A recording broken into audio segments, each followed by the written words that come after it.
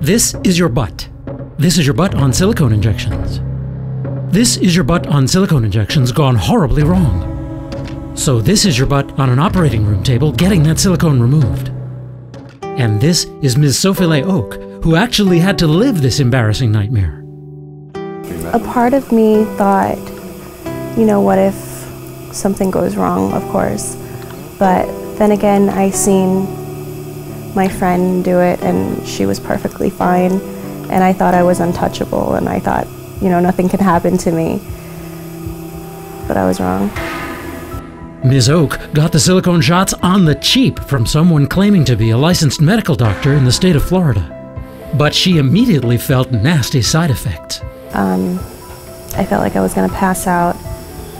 Um, my heart started to race like really, really fast.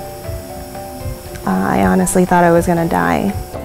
The most dreadful complication is, are ones that happen right away, where some of the material ends up in the veins and they go to the lungs, causing a pulmonary embolus. It is my opinion, and the opinion of the pulmonary doctor who's treating the patient here, that her symptoms and story is consistent with a small amount of silicone embolization. CAT scans revealed significant changes in her lungs. Her doctors recommended multiple surgeries to remove the silicone to give her immune system a chance to fight off infections. But surgical techniques can have complications of their own. One of the more commonly uh, performed methods in this country for silicone extraction involves liposuction with a concomitant use of either hot or cold lasers.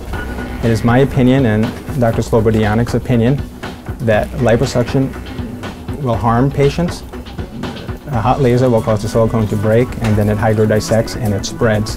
A common complaint that most women who've had silicone injections have is the silicone is spreading down their legs, down their feet, up their back, to their groins. Our technique does not involve spreading the silicone.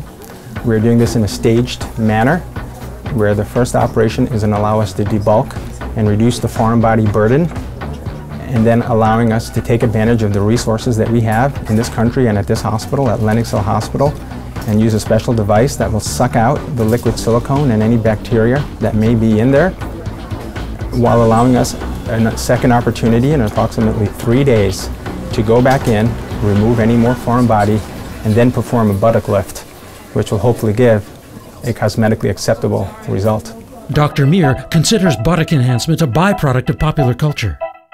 He blames celebrities for promoting unnaturally fuller backsides, and unscrupulous so called doctors for performing the procedures. If you're going to get plastic surgery, do it the right way, you know, pay the money to do it.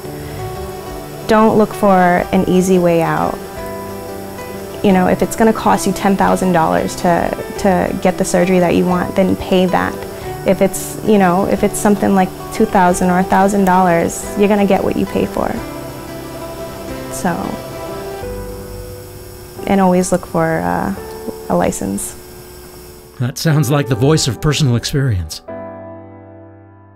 And for Live Science, I'm Dave Brody.